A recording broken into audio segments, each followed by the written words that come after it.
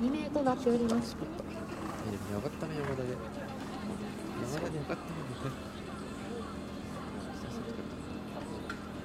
見たいという絶対無理9番障害まで減点8できております。そしてトリプル障害10番の A 障害 B 障害そして C 障害とこちらはクリアです。最終障害11番に向かいます。こちらもクリアです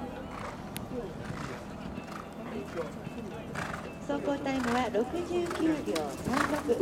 2つの落下がありました。減点が8点です。続きまして18番の選手を迎えます。東京農業大学服部真央選手とアレックス C が